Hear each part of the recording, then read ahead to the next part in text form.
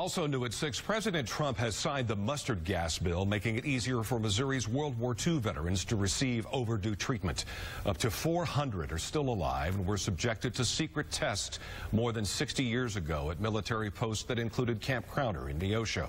Their claims for medical care for long-term health problems were repeatedly denied by the VA. The bill was pushed through Congress by Missouri Senator Claire McCaskill, who wants mustard gas cases pushed to the front of the VA claims line. Senator Roy Blunt co-sponsored the measure.